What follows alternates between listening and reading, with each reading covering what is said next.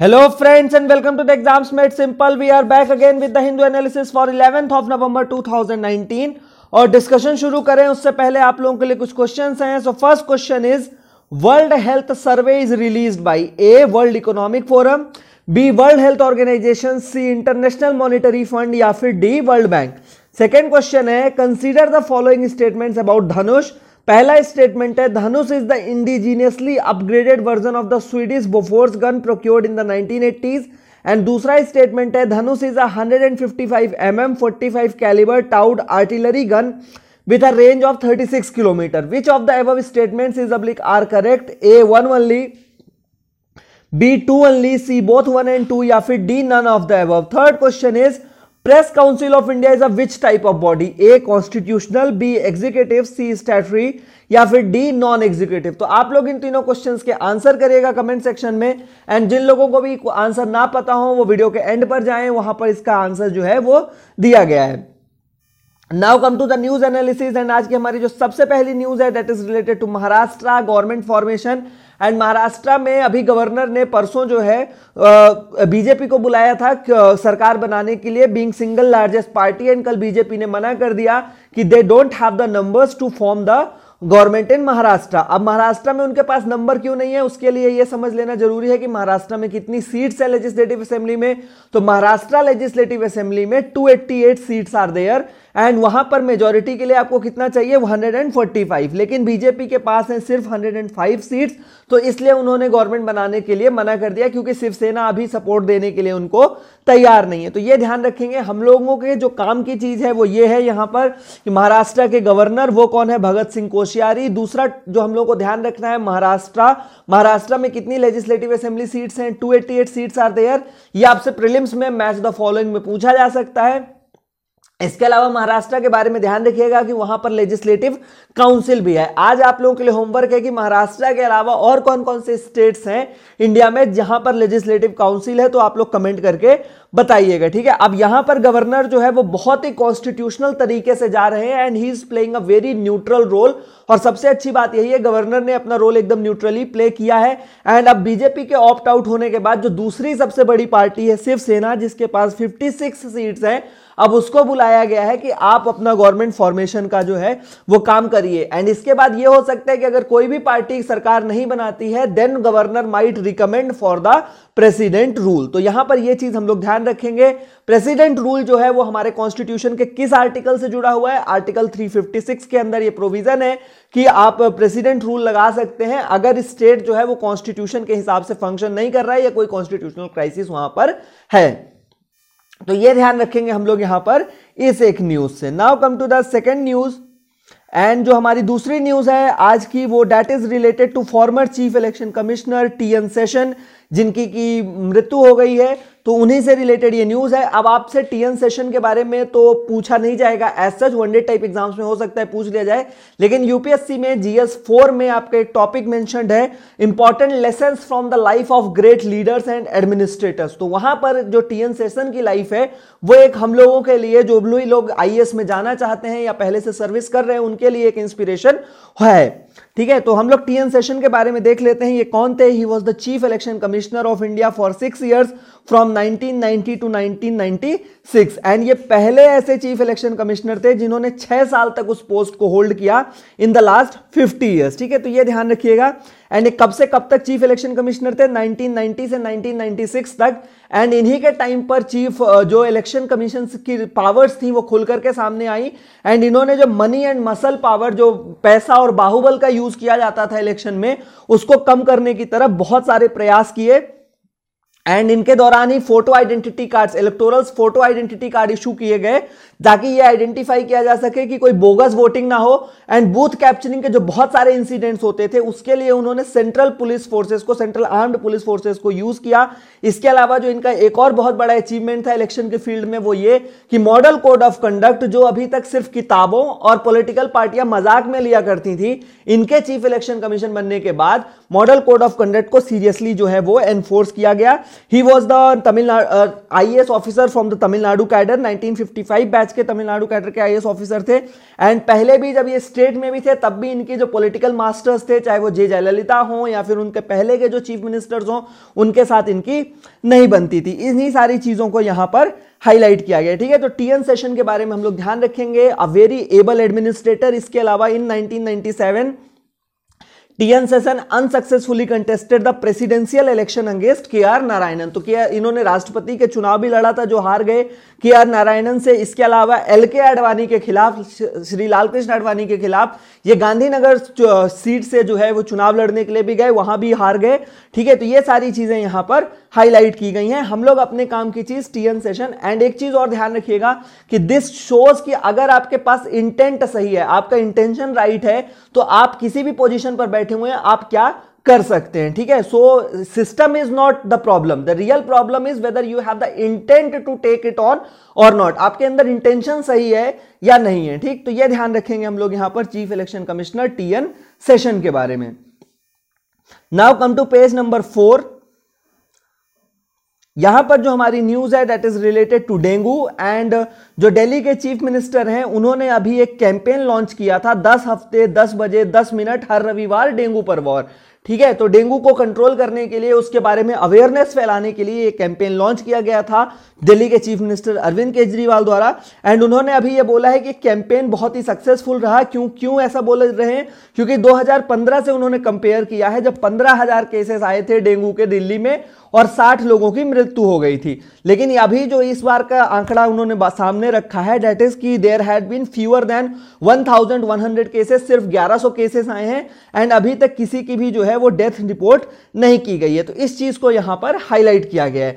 ठीक है, हम लोग अपने काम की चीज़ यूपीएससी में हो सकता है, आपसे डेंगू के बारे में पूछ लिया जाए तो देख लेते हैं ये कैसे होता है एंड क्या, इसका क्या प्रिवेंशन है। तो dengue is a mosquito borne viral infection causing a severe flu like illness and sometimes causing a potentially lethal complication called severe dengue. तो डेंगू को जो फैलाने वाला ऑर्गेनिज्म है वो कौन सा है? Mosquito and Aedes aegypti mosquito के कारण ये होता है। ठीक है? इसके अलावा ध्यान रखिएगा, डेंगू को पहली बार जो है 1950s के दौरान फिलीपींस एंड थाईलैंड में आइडेंटिफाई किया गया। एंड उसके बाद जो है दुनिया भर में it was known across the world and dengue का जो वायरस है it comprises of four distinct stereotypes DEN one DEN two DEN three and DEN four which belongs to the genus Flavivirus family, Flavivirate. And the Aedes aegypti mosquito is the main vector that transmit the viruses that cause dengue तो ध्यान रखिएगा, कौन सा mosquito dengue फैलाता है? AIDS इगिप्टी mosquito तो ये ध्यान रखेंगे हम लोग यहाँ पर डेंगू के बारे में। Now come to page number five and यहाँ पर जो हमारी न्यूज़ है that is related to Chandrashekhar Azad and Chandrashekhar Azad आज क्यों न्यूज़ में आए? क्योंकि भोपाल म्यूनिसिपल कॉरपोरेशन ने उनकी मूर्ति हटा करके जो है, वहाँ पर जो मध्य प्रदेश के पूर्व मुख्यमंत्री हैं अर्जुन सिंह, उनकी मूर्ति लगा, लगाने का काम अभी कर रहे हैं उसका जो है वो लोग अपोज कर रहे हैं। तो जो मध्य प्रदेश के पूर्व मुख्यमंत्री हैं शिवराज सिंह चौहान, उन्होंने कहा है कि बहुत ही शर्म की बात होगी कि हम एक फ्रीडम फाइटर एंड वो भी चंद्रशेखर आज़ाद जैसे फ्रीडम फाइटर का स्टैच्यू हटा करके एक पूर्व मुख्यमंत्री की स्टैच्यू लगा रहे हैं। एंड यहाँ पर यह मत मानिएगा कि कांग्रेस की गवर्नमेंट है, इसलिए ऐसा किया जा रहा है। भोपाल म्यूनिसिपल कॉर्पोरेशन जो कि बीजेपी चला रही है, उन्हीं लोगों ने डिसाइड किया है कि वहाँ से चंद्रशेखर आज़ाद की मूर्ति हटाया हटाया जाए। एंड हटाने का कारण उन्होंने दिया था कि वहाँ पर ट्रैफ़िक को मतलब कंट्रोल करने में आसानी होगी एंड ट्रैफ़िक मैनेजमेंट में आसानी होगी, ठीक है? तो जब आज़ाद जी की मूर्ति के कारण ये दिक्कत हो रही थी तो अर्जुन सिंह की मूर्ति लगाने से पता नहीं कौन सा फ़ायदा होगा, ठीक है? तो अब ये लोग तो हो सकता है शहीदों को भूल जाएँ but we will remember them तो आज हम लोग थोड़ा सा चंद्रशेखर आज़ाद के बारे में पढ़ लेते हैं एंड ये आपके किस जीएस में काम आएगा? ये आपके जीएस वन में काम आएगा, जहाँ पर दे रखा है कि फ्रीडम पर्सनैलिटीज के बारे में आपको पता होना चाहिए, ठीक है? तो चंद्रशेखर आज़ाद का जन्म जो है, वो 1906 में अलीराजपुर, मध्य प्रदेश में हुआ था and he was a great freedom fighter and इनके, इनकी देशभक्ति के कारण न सिर्फ़ उनकी जनरेशन बल्कि आने वाली बहुत सारी पीढ़ियों को जो है, वो फ्रीडम फ्रीडम फाइटिंग के लिए inspiration milli and Chandrashekhar Azad was the mentor of Bhagat Singh he was the another great freedom fighter अब इनका जो बचपन का नाम था, वो था चंद्रशेखर तिवारी। इनका जन्म Bhavra village in the present day Alirajpur district of Madhya Pradesh में हुआ था। इन अपनी माता के कहने पर ये काशी विद्यापीठ बनारस में पढ़ने के लिए गए and he was deeply troubled by the Jallianwala Bagh incident he actively participated in the non cooperation movement जब नॉन कॉपरेशन मूवमेंट गांधी ने शुरू किया, वहाँ पर उन्होंने बहुत ही एक्टिवली पार्टिसिपेट किया। एंड इसी दौरान जब उनको गिरफ़्तार किया गया तो जब जज ने पूछा उनसे कि उनका नाम क्या है so he said his name was Azad. And उनसे जब उनके पिता का नाम पूछा गया तो he gave the name as Swatantra. And जब पता पूछा गया तो उन्होंने कहा कि मेरा पता जो है, वो जेल है। एंड उस दिन के बाद से उनको चंद्रशेखर आज़ाद के नाम से जाना जाने लगा। उन्होंने एक शपथ ली थी कि वो कभी भी ब्रिटिश पुलिस द्वारा अरेस्ट नहीं किए जाएँगे and he would die as a free man and यही उन्होंने किया जब 1931 में उनकी डेथ होती है, तब उन्होंने खुद को गोली मार ली थी। ब्रिटिश पुलिस जो है उनको कभी भी पकड़ नहीं पाई। अब अगर बात करें हम लोग उनके फ्रीडम और किस ऑर्गेनाइजेशन के साथ जुड़े हुए थे, सबसे पहला तो उन्होंने नॉन कॉपरेशन मूवमेंट में पार्टिसिपेट किया, दूसरा he was associated with Hindustan republican Association, a revolutionary organization, and he was active member of Hindustan Republican Association. 1928 में भगत आज़ाद चंद्रशेखर आज़ाद ने भगत सिंह सुखदेव एंड राजगुरु के साथ मिलकर के हिंदुस्तान सोशलिस्ट रिपब्लिकन एसोसिएशन को शुरू किया and Hindustan socialist republican association was committed to complete independence for India and socialist principles for India's future progress. इसके अलावा और कौन से रेवोल्यूशनरी एक्टिविटीज़ थे जिनमें चंद्रशेखर आज़ाद इन्वॉल्व थे? It was Kakori train robbery case and attempt to blow up the viceroy's train जो viceroy Irwin थे, उनकी ट्रेन को उड़ाने का प्रोग्राम इसके अलावा जो सॉन्डर्स था, जिनके कारण लाला लाजपत राय की डेथ हुई थी he was involve in the shooting of Saunders at Lahore 1928 to avenge the killing of Lala Lajpat Rai, ठीक है? एंड इनको, इनकी जो इन्होंने मतलब ट्वेंटी फरवरी 1931 को एल्फ्रेड पार्क इलाहाबाद में खुद को गोली मार ली एंड उससे पहले उन्होंने तीन ब्रिटिश पुलिसमैन की हत्या की, ठीक है? तो ये ध्यान रखेंगे हम लोग यहाँ पर चंद्रशेखर आज़ाद के बारे में एंड उनका जो बहुत ही फ़ेमस स्लोगन था, दुश्मन की गोलियों का हम सामना करेंगे, आज़ाद ही रहे हैं और आज़ाद ही रहेंगे। तो ये ध्यान रखेंगे हम लोग चंद्रशेखर आज़ाद के बारे में। Now come to the same page and यहाँ पर एक एड आया हुआ है that is related to Guru Nanak Dev ji 550th Prakash Parv. कल जो है वो गुरु नानक देव की 550th बर्थ एनिवर्सरी है। एंड उसको लेकर पंजाब गवर्नमेंट ने एक जगह है सुल्तानपुर लोधी, वहाँ पर सारी की सारी फेस्टिविटीज ऑर्गेनाइज की हैं। तो हम लोग थोड़ा सा सुल्तानपुर लोधी के बारे में देख लेते हैं, ये क्या है?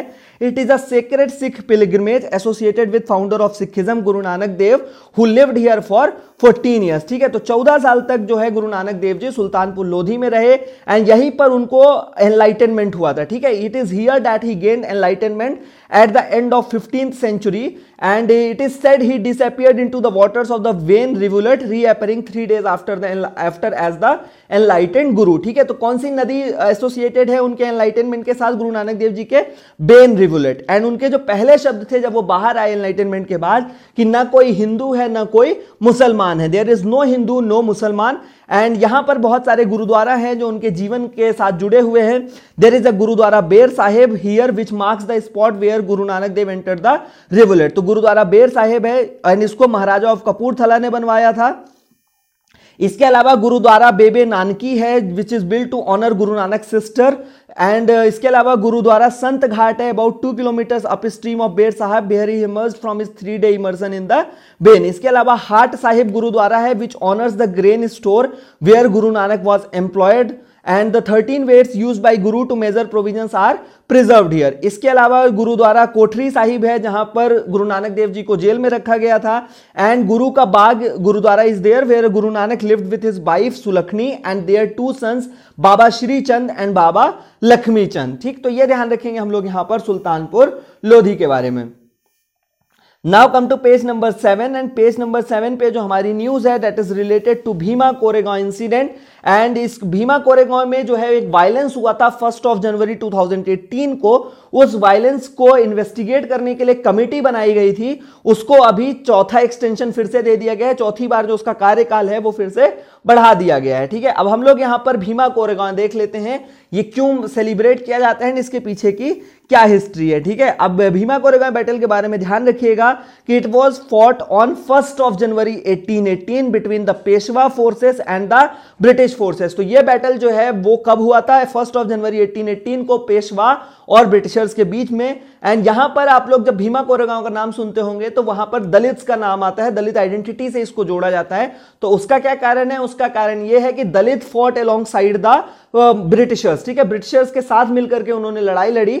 हालाँकि उन्होंने ऑफ़र पेशवा को भी दिया था कि हम आपकी तरफ़ से भी लड़ सकते हैं, लेकिन because of being lower caste उनको उस फोर्स में शामिल नहीं किया गया। And then they fought alongside Britishers and they won इसलिए जो है उसको दलित आइडेंटिटी के साथ थोड़ा सा जोड़ करके देखा जाता है, ठीक है? तो ये चीज़ यहाँ पर ध्यान रखेंगे हम लोग। एंड इसके अलावा इसका एक और महत्व है भीमा कोरेगांव का कि on first of January 1927 B R Ambedkar visited the memorial erected on the spot which bears the names of the dead, including two dozen Mahar soldiers.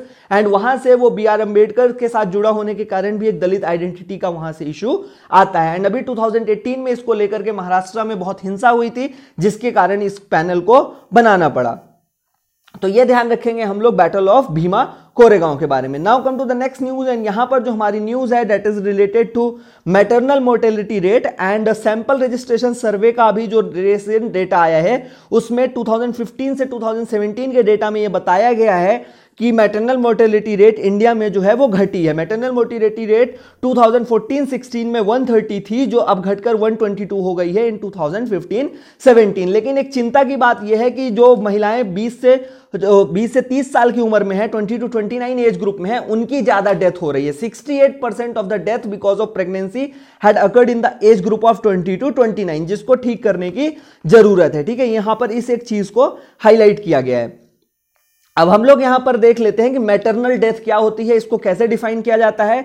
Maternal death is the death of a woman while pregnant or within 42 days of termination of pregnancy irrespective of the duration and site of the pregnancy from any cause related to or aggravated by the pregnancy or its management but not from accidental or incidental causes ठीक है? तो अगर मतलब pregnancy के दौरान किसी महिला की मृत्यु होती है या फिर प्रेगनेंट डिलीवरी के बयालीस दिन बाद अगर किसी की डेथ होती है प्रेगनेंसी रिलेटेड केसेस से तो उसको जो है वो मेटरनल डेथ माना जाता है। एंड इसके बहुत सारे रीजन हैं। कौन कौन से मेजर रीजन माने जाते हैं? पॉवर्टी डिस्टेंस टू फैसिलिटीज़ तीसरा है लैक ऑफ़ इंफॉर्मेशन चौथा है inadequate and poor quality services and पांचवा है कल्चरल बिलीफ्स एंड प्रैक्टिसेस तो ये ध्यान रखेंगे हम लोग यहाँ पर मेटरनल मोर्टेलिटी रेट के बारे में। Now come to page number eight and यहाँ पर जो हमारी न्यूज़ है that is related to Karnataka and Karnataka में अभी सेवन फिफ्टीन जो असेंबली सीट्स हैं, उनके लिए बाईपोल्स होने वाले हैं and model code of conduct लागू कर दिया गया है. एंड अभी यहाँ पर क्यों बाईपोल्स हो रहे हैं? क्योंकि उस, बहुत सारे कर्नाटका के जो कांग्रेस के एमएलए थे एंड जेडीएस के एमएलए थे दे हैव रिजाइंड एंड उसके बाद जो है ये इलेक्शंस हो रहे हैं. एंड उनको जो है स्पीकर ने एंटी डिफेक्शन लॉ लगा करके डिस्कालीफाई कर दिया था। अब उसका भी केस जो है वो सुप्रीम कोर्ट में चल रहा है and supreme court is expected to hear that case very soon तो यहाँ पर हमारे लिए दो काम की चीज़ें हैं। सबसे पहला है model code of conduct and दूसरा है एंटी डिफेक्शन लॉ तो एक एक करके इन दोनों को हम लोग देख लेते हैं। तो मॉडल कोड ऑफ़ कंडक्ट क्या है? These are the guidelines issued by the election commission of India for conduct of political parties and candidates during elections mainly with respect to speeches polling day polling booth election manifestos procession and general conduct तो model code of conduct जो है, एक तरह की guideline है जो election commission of India जारी करता है पॉलिटिकल पार्टीज़ एंड उनके कैंडिडेट्स के लिए कि आपको इलेक्शन के दौरान कैसा कंडक्ट रखना है, कैसी स्पीच देनी है पोलिंग डे के ऊपर क्या क्या करना है?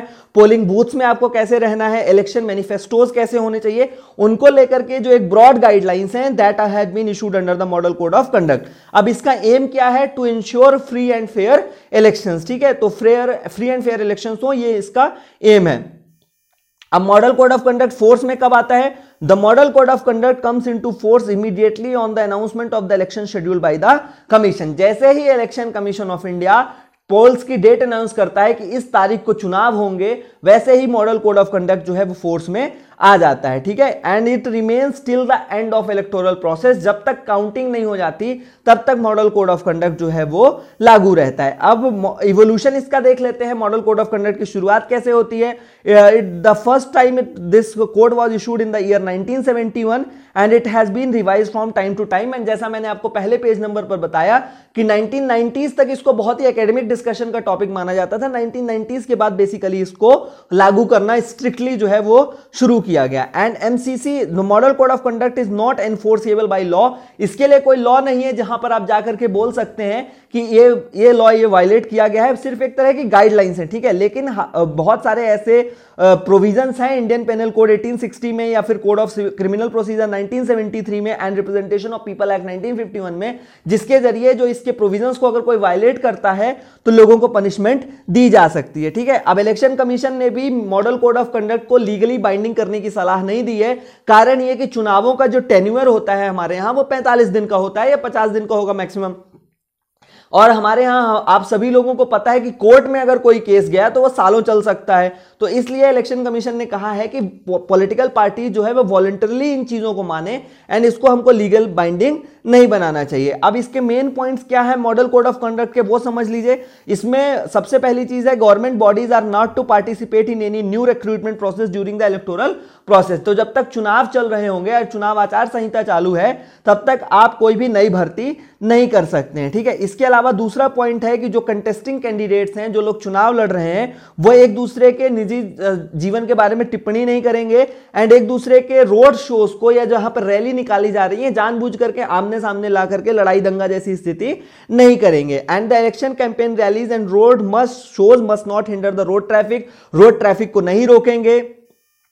इसके अलावा कैंडिडेट्स जो हैं, वो दारू बांटने से बचेंगे, दारू नहीं बांटेंगे। इसके अलावा यहाँ पर यह भी बोला गया है कि कोई भी नया वेलफेयर प्रोग्राम या रोड कंस्ट्रक्शन या कोई नए नए घोषणाएँ जो है, वो नहीं की जाएँगी। कुल मिलाकर के ये है कि एक तरह से सभी लोगों को लेवल प्लेइंग फ़ील्ड मिल सके। इसलिए मॉडल कोड ऑफ़ कंडक्ट जो है वो इन्फोर्स किया जाता है। ऐसा नहीं होना चाहिए कि सरकार में जो अभी हैं, उनको पास बहुत सारे रिसोर्सेस हैं, वो उनका मिसयूज करके अपोजिशन को कैंपेन ना करने दें। ठीक है? तो ये सारी चीज़ें मॉडल कोड ऑफ़ कंडक्ट में मैंशनड है। अब जो दूसरा यहाँ पर टॉपिक था हमारा that was anti defection law उसको समझ लेते हैं। एंटी डिफेक्शन लॉ को अगर हिंदी में बोले तो उसको दल बदल कानून बोला जाता है। बहुत सारे नेताओं की आदत थी कि सुबह जो है वो इस पार्टी में और शाम को दूसरी पार्टी में इस चीज़ को रोकने के लिए एंटी डिफेक्शन लॉ लाया गया था 1985 में and it was strengthened in the year 2003 अब एंटी डिफेक्शन लॉ से जुड़ा हुआ जो हमारा कॉन्स्टिट्यूशनल अमेंडमेंट है, वो कौन सा है? It is fifty second constitutional amendment आप लोग ये फैक्ट ध्यान रखिएगा कि fifty second constitutional amendment act हमारा किस किससे जुड़ा हुआ है? एंटी डिफेक्शन लॉ से।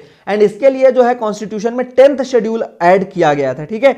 अब इसके बेसिस पर जो एमपीज या एमएलए हैं, इनको डिस्कालीफाई किया जा सकता है। एंड डिस्कालिफिकेशन की तीन कंडीशन हैं, ठीक है? तो तीन कंडीशंस इस हिसाब से हैं कि हमारी जो पार्लियामेंट होती हैं लेजिस्लेचर्स होते हैं स्टेट में भी, वहाँ पर तीन तरह के मेंबर्स होते हैं। सबसे पहले वो जो किसी पॉलिटिकल पार्टी के टिकट पर चुन करके जाते हैं, दूसरे वो जो इंडिपेंडेंट या निर्दलीय जीत करके जाते हैं, तीसरे ऐसे जो नॉमिनेटेड होते हैं या मनोनीत होते हैं, ठीक है? अब तीनों के लिए अलग अलग कंडीशंस हैं एक एक करके देख लेते हैं। जो लोग किसी पॉलिटिकल पार्टी को बिलोंग करते हैं फॉर देम अगर वो वॉलेंटरली उस पॉलिटिकल पार्टी से रिजाइन कर देते हैं, तब आपके ऊपर एंटी डिफेक्शन लगाया जा सकता है, या फिर आप पॉलिटिकल पार्टी जो आपकी है, उसके कहने के हिसाब से, या उसके हिसाब से वोट नहीं करते हैं then also anti defection law could be applied and you will be disqualified independent candidates के लिए क्या है? अगर आप चुनाव जीतने के बाद किसी पॉलिटिकल पार्टी को ज्वाइन करते हैं if after winning an election you join any other political party then you will be disqualified under the anti defection law nominated members के केस में क्या है कि नॉमिनेटेड मेंबर्स को छह महीने का टाइम पीरियड दिया गया है कि अगर आप छह महीने के अंदर ज्वाइन करते हैं किसी पॉलिटिकल पार्टी को तो आपको डिस्कालीफाई नहीं किया जाएगा। लेकिन छह महीने नॉमिनेट होने के बाद अगर आप ज्वाइन करेंगे then you will be disqualified as a member of parliament और लेजिस्लेटिव असेंबली ठीक है? ये ध्यान रखिएगा। अब यहाँ पर डिसीज़न मेकिंग अथॉरिटी कौन है? कौन ये डिसाइड करता है कि आपके ऊपर एंटी डिफेक्शन लॉ लगेगा या नहीं? तो इस, यहाँ पर deciding authority is the presiding officer of the house ठीक है? तो लोकसभा के केस में स्पीकर एंड राज्यसभा के केस में चेयरमैन ऑफ़ द राज्यसभा और vice president of India he is the decision making authority and यहाँ पर जो भी प्रोसीडिंग्स होती हैं under this schedule are deemed to be proceedings in parliament और in the legislature of state अब कुछ एक्सेप्शन है एंटी डिफेक्शन लॉ में तो वो एक्सेप्शन जो है वो दो तरह के हैं। सबसे पहला एक्सेप्शन है अगर आपको स्पीकर अपॉइंट कर दिया जाता है एंड तब आप अपनी पॉलिटिकल पार्टी से रिजाइन करते हैं then you will not be disqualified तो ये बहुत लॉजिकल है। स्पीकर अगर अपनी पॉलिटिकल पार्टी से हट जाएगा तो एक तरह से न्यूट्रलिटी दिखती है तो इसलिए आपको डिस्कालीफाई नहीं किया जाएगा। दूसरा जो कंडीशन है that was mentioned in ninety first constitutional amendment act of 2003 वहाँ पर यह बोला गया है कि अगर टू थर्ड किसी पार्टी के एमपीज या एमएलए जा करके किसी दूसरी पॉलिटिकल पार्टी में मर्ज हो जाते हैं तो फिर आपको डिस्कालीफाई नहीं किया जाएगा। जैसा कांग्रेस के साथ गोवा में हुआ, उनके पंद्रह विधायक थे एंड फिफ्टीन का अगर आप टू बाई थर्ड कैलकुलेट करें तो टेन आता है and ten MLA of Congress join the BJP and उनके ऊपर एंटी डिफेक्शन लॉ तब नहीं लगा, ठीक है? और यहीं से एंटी डिफेक्शन लॉ का सबसे पहला क्रिटिसिज्म भी पैदा होता है कि आपने रिटेल डिफेक्शन को बंद करके होलसेल डिफेक्शन जो है वो शुरू करवा दिया। ठीक? तो यह ध्यान रखिएगा यहाँ पर एंटी डिफेक्शन लॉ के बारे में। Now come to page number ten and आज का जो हमारा एडिटोरियल पेज है, वहाँ पर एडिटोरियल एंड लीड आर्टिकल हमारे दोनों के दोनों अयोध्या का जो जजमेंट आया है, उसका एनालिसिस है कि उसका क्या इंपैक्ट है एंड क्या जिस हिसाब से फैसला लिया गया, जो रीजनिंग दी गई, वो सही थी या नहीं थी, ठीक है? तो सबसे पहले एडिटोरियल हम लोग देख लेते हैं।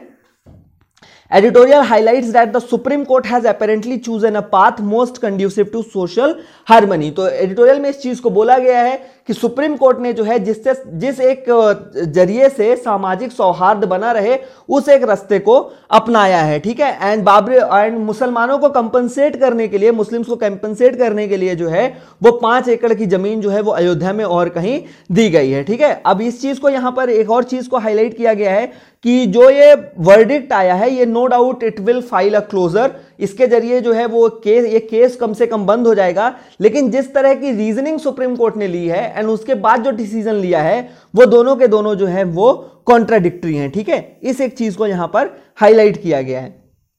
इसके अलावा यहाँ पर सुप्रीम कोर्ट की जो बेंच है, उन्होंने दो मतलब घटनाओं को बहुत ही बुरा बताया है भारतीय इतिहास के लिए।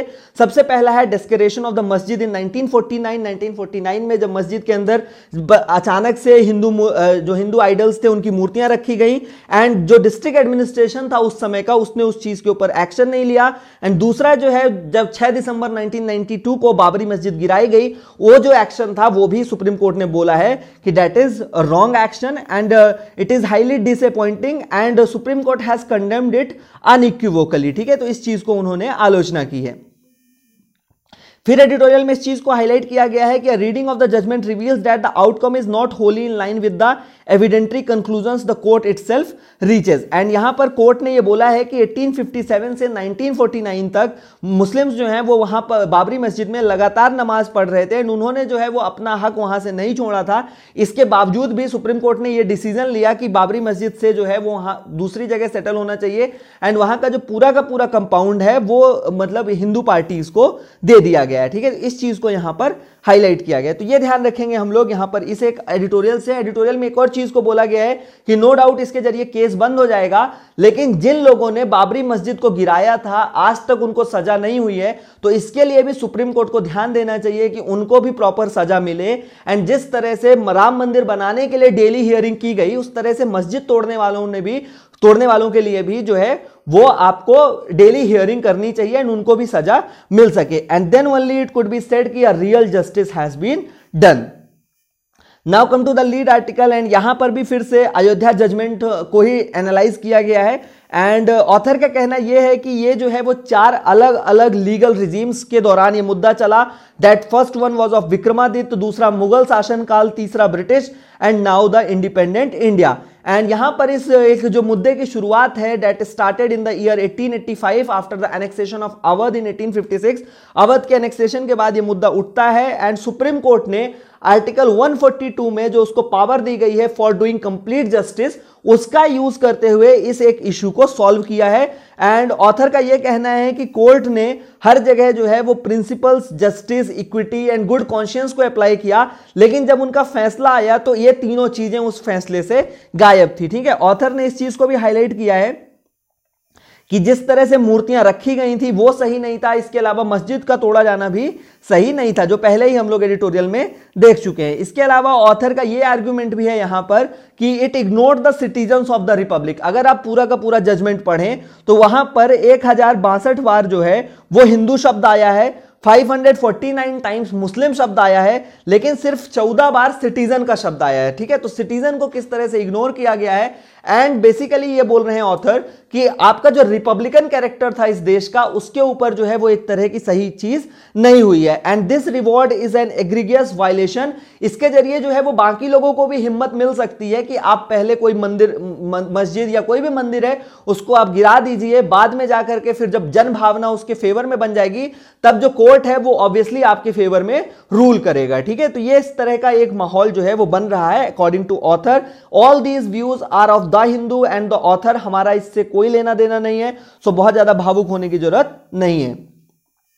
Now come to the second article and आज का हमारा जो दूसरा आर्टिकल है that is related to regional comprehensive economic partnership RCEP and यहाँ पर इस चीज़ को हाईलाइट किया गया है कि इंडिया को क्यों इसको ज्वाइन करना चाहिए था। एंड इसको नहीं ज्वाइन करने से हमारा क्या नुकसान हो रहा है, ठीक है? सबसे पहले इसका बैकग्राउंड समझ लेते हैं। तो बैकग्राउंड ये है कि नवंबर 4 2019 को प्राइम मिनिस्टर नरेंद्र मोदी ने ये बोला कि हम आरसीपी एग्रीमेंट जो है वो ज्वाइन नहीं करेंगे, ठीक है? अब आरसीएपी एग्रीमेंट क्या था? It was the world's biggest trade agreement and it is association between the 15 countries 10 ASEAN countries and five Asia Pacific states with which ASEAN countries have free trade agreement तो वो कौन कौन से पाँच देश थे? Australia, China, Japan, New Zealand and South Korea, ठीक है? अब ऑथर का कहना यह है कि जिस तरह से हम आरसीपी की नेगोशिएशन से बाहर आ गए एंड हमने उस एग्रीमेंट को ज्वाइन नहीं किया, वो ये दिखाता है कि हमारे एम्बिशंस को हम एक्शन में नहीं बदल पाए। क्योंकि 2012 से जब से नेगोशिएशन शुरू हुए थे, तब से इट वाज एक्सपेक्टेड कि इंडिया आने वाले छह सात सालों में जो है, वो एक मैन्युफैक्चरिंग पावर बन जाएगा। लेकिन अभी भी हम नहीं बन पाए तो एक तरह से दिखाता है कि इट हमारे जो एम्बिशन है एंड एक्शंस हैं, वो दोनों के दोनों किस तरह से मैच नहीं करते हैं। अब ऑथर ने इस चीज़ को हाईलाइट किया है कि तीन मेजर एरियाज़ ऑफ़ कंसर्न थे, जिसके कारण भारत आरसीपी से बाहर आ गया। सबसे पहला कंसर्न था that was related to farmers and small business owners उनके ऊपर निगेटिव इंपैक्ट पड़ता। दूसरा जो कारण था कि इंडिया को जो work visas and liberalisation in services की बात नहीं मानी गई, उस कारण से बाहर आया। सबसे पहला कौन सा है? Agricultural work workers and small business owners दूसरा कारण था जो work visas and liberalisation in services है, वो एंड तीसरा कारण था मेनली फ्री ट्रेड एग्रीमेंट में इंडिया को कभी भी फ़ायदा नहीं हुआ।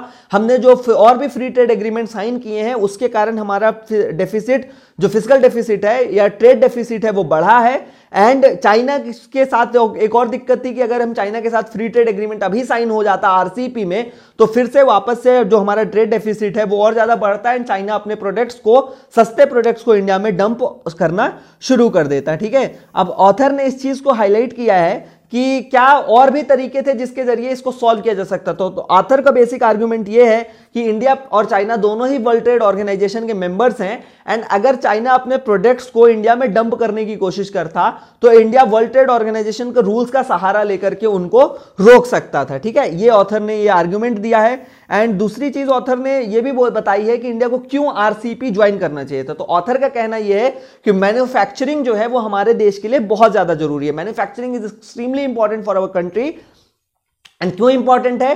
Because it will create the jobs सबसे पहले तो जॉब्स क्रिएशन होगा। इसके अलावा हमारा एक्सपोर्ट बढ़ाएगा। तो इसलिए मैन्युफैक्चरिंग जो है, वो ज़रूरी है। एंड मैन्युफैक्चरिंग अगर इंडिया जब स्ट्रांग हो जाएगा, तब उस समय हमको ज़रूरत पड़ेगी ऐसे एग्रीमेंट्स की। एंड अभी एशिया के अंदर जो है, वो दो ऐसे एग्रीमेंट्स हैं। पहला आरसीपी है एंड दूसरा है comprehensive and progressive agreement for trans Pacific partnership. And दोनों का इंडिया जो है वो मेंबर नहीं है तो इसलिए जब कभी भी हम मैन्युफैक्चरिंग में आगे आएँगे एंड ग्लोबल वैल्यू चेन्स में हम अपने आप को इंटीग्रेट करना चाहेंगे, तब वहाँ पर हमारे लिए जो है वो दिक्कत खड़ी होगी, ठीक है? तो इसलिए यहाँ पर ऑथर का ये मानना है कि इंडिया को आरसीपी ज्वाइन करना चाहिए था एंड हम लोगों को प्रॉपर स्टेप्स अभी भी टाइम है, जब हम लें कि हम मैन्युफैक्चरिंग सेक्टर को अपने स्ट्रांग बना सकें एंड जो ग्लोबल वैल्यू चेन है उसमें शामिल हो सकें, ठीक? तो इस चीज़ को यहाँ पर हाईलाइट किया गया है। Now come to the op-ed page and op-ed page पर जो हमारी सबसे पहला आर्टिकल है that is related to Kashmir and यहाँ पर ऑथर ने इस चीज़ को बोला है कि आर्टिकल 370 के स्पेशल स्टेटस हटाने के बाद जो लोग कश्मीर में प्रो इंडिया थे, अब उनका कोई स्टैंड जो है वो बचा नहीं है, ठीक है? अब एक तरह से आर्टिकल 370 हटाने के बाद जो प्रो इंडिया फैक्शंस हुआ करते थे कश्मीर के अंदर, चाहे वो जर्नलिस्ट हो या फिर मेन स्ट्रीम पोलिटिकल पार्टीज़ हो एंड जो इंडिया का साइड लिया करते थे, अब उन सब लोगों को जो है, वो चुप रहना पड़ रहा है, ऐसा यहाँ पर ऑथर द्वारा हाईलाइट किया गया है। बाकी कोई बहुत ज़्यादा काम की चीज़ यहाँ पर नहीं दी हुई है so it is not much important for us we can skip it now come to the second article and यहाँ पर जो है, वो हमारे पार्लियामेंट हाउस से रिलेटेड आर्टिकल दे रखा है। ऑथर का यहाँ पर कहना यह है कि आप जो पार्लियामेंट हाउस है, उसको रेनोवेट करिए फिर से बनवाने की ज़रूरत नहीं है। We should renovate our parliament house not rebuild it ठीक है? तो अब यहाँ पर हम लोग पार्लियामेंट हाउस के बारे में देख लेते हैं, कुछ फैक्ट्स दे रखे हैं।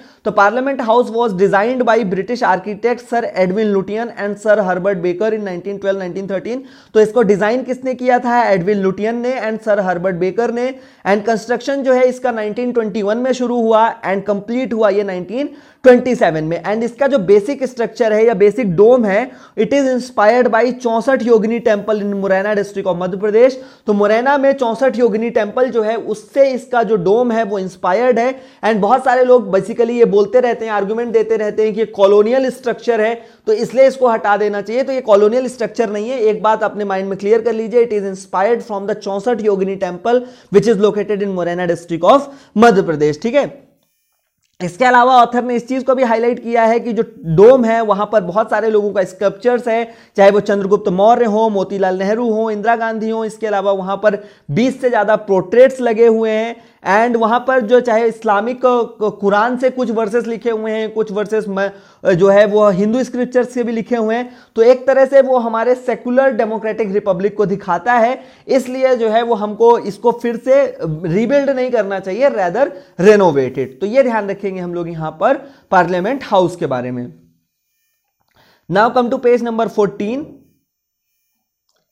and यहाँ पर एक जो हमारी न्यूज़ है that is related to H one B visas and United States के एक कोर्ट ने जो है, वो जो अभी डोनाल्ड ट्रंप के एडमिनिस्ट्रेशन ने एक बोला था कि जो H one B visa holders के स्पाउजेस हैं, वो काम नहीं कर सकते, उसके ऊपर अभी जो है वो रोक लगा दी है। एंड इसका सबसे बड़ा फ़ायदा इंडियंस को होगा, क्योंकि एच वन बी वीज़ा का सबसे ज़्यादा फ़ायदा जो है वो इंडियंस को ही मिल रहा था। अब एच वन बी वीज़ा क्या होता है, ये देख लेते हैं हम लोग। H one B visa is an employment based non immigrant visa for temporary workers ठीक है? तो एक employment based non immigrant visa है for this visa an employer must offer a job in the US and apply your H one B visa petition within the US immigration department तो इसके लिए क्या ज़रूरी चीज़ है? एक तो आपका एम्प्लॉयर जो है वो आपको नौकरी दे एंड दूसरा वो एम्प्लॉयर ही जा करके यूएस के जो यूएस इमिग्रेशन डिपार्टमेंट है, वहाँ पर आपके एच वन बी वीज़ा के लिए पेटिशन देगा, ठीक है? अब एलिजिबिलिटी क्या है? H one B visa is issued for a specialty occupation requires theoretical and practical application of a body of specialize knowledge and requires the visa holder to have at least a bachelor's degree और it's equivalent तो इसके लिए जो, इसके लिए वो apply किया जा रहा है, उसके पास बैचलर्स डिग्री होना ज़रूरी है। एंड इसके लिए United State citizenship and immigration services it sets a limits on how many H one B visas are issued each year and historically जो है, इसको पैंसठ हज़ार एच वन बी वीज़ा जो है, वो इशू किए जाते हैं। And an additional twenty thousand H one B visas are issued for qualified people who have completed a master's degree from USA तो जिन लोगों ने यूएसए से मास्टर्स डिग्री की है, उनको, उनमें से बीस हज़ार लोगों को और H one B visa issue किए जा सकते हैं, ठीक है? तो ये ध्यान रखेंगे हम लोग यहाँ पर एच वन बी वीज़ा के बारे में। तो ये था आज का न्यूज़ एनालिसिस बिज़नेस पेज पर कोई भी बहुत इंपॉर्टेंट न्यूज़ नहीं है। How to choose mutual funds and ये सारी चीज़ों से आपको ज़्यादा यूपीएससी में नहीं पूछा जाएगा so we can skip it now जो आपसे क्वेश्चंस पूछे गए थे, उनके आंसर कर दिए जाएँ। सो फ़र्स्ट क्वेश्चन का आंसर है world health survey is release by world health organization तो ये ध्यान रखिएगा सेकंड क्वेश्चन में दोनों के दोनों स्टेटमेंट सही हैं तो answer is C and third question में आंसर है C statutory body press council of India is a statutory body statutory bodies वो बॉडीज होती हैं जो किसी पार्लियामेंट के एक्ट के कारण एग्जिस्टेंस में आते हैं, उनको स्टेटरी बॉडीज बोला जाता है। तो ये था आज का न्यूज़ एनालिसिस आई होप आपको डिस्कशन अच्छा लगा होगा। Thank you and have a nice day please do like share and subscribe the exams made simple have a great day ahead